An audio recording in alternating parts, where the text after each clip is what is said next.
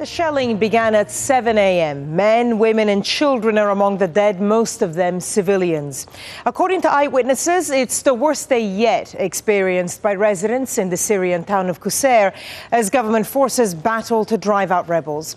Well, these are the pictures of the fighting shown by a Hezbollah run Lebanese TV station. A few minutes ago, I spoke to Rifaie Tammas, an activist inside Qusayr. He told me the government forces have been shelling the town indiscriminately.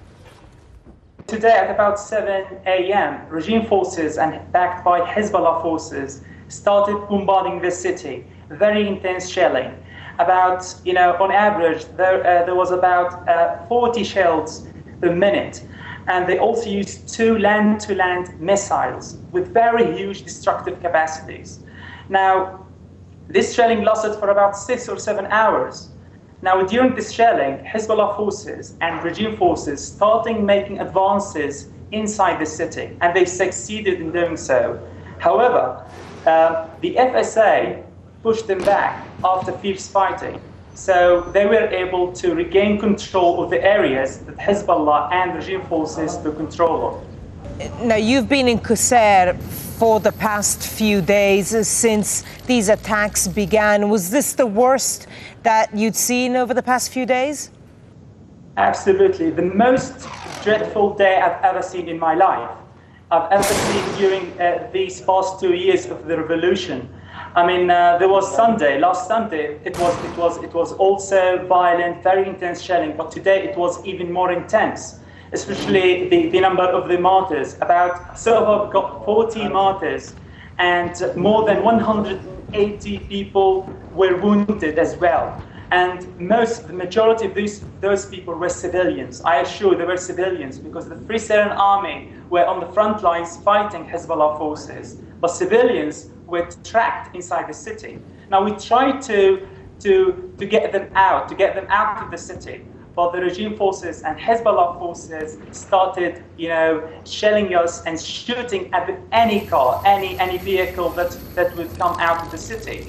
So what, what, we, what we did was put all the people inside or underground in underground shelters. However, we don't have many underground shelters, so even those shelters are not enough. People are packed inside, and when a land-to-land missile hits these very shelters, they would surely collapse. And many people, and indeed on Sunday, many people got killed because of that, because when, when, when a missile landed on one of these shelters. So they're not safe at all.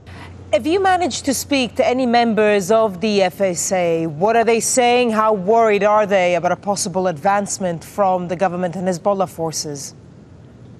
Mm.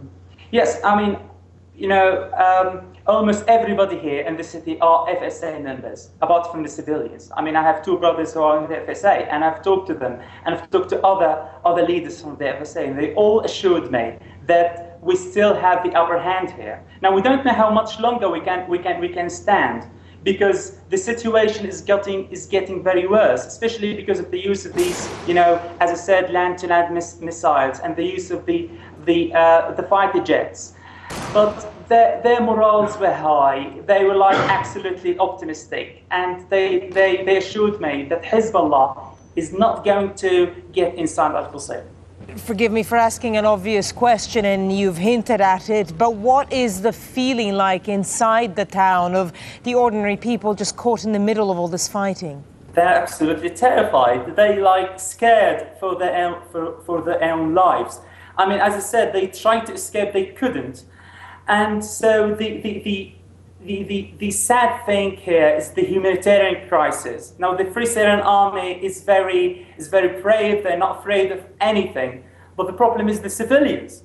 Now, the Free Syrian Army, said, tried to, to, to get them out of the town, but we couldn't. So, um, people are very terrified. There is a lack of food, lack of medicine, lack of everything. We, we haven't got any water, any electricity for months.